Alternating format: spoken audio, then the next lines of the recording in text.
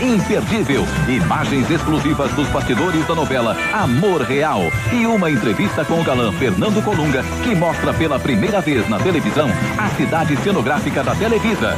Neste sábado, uma e meia da tarde, falando francamente, ao vivo.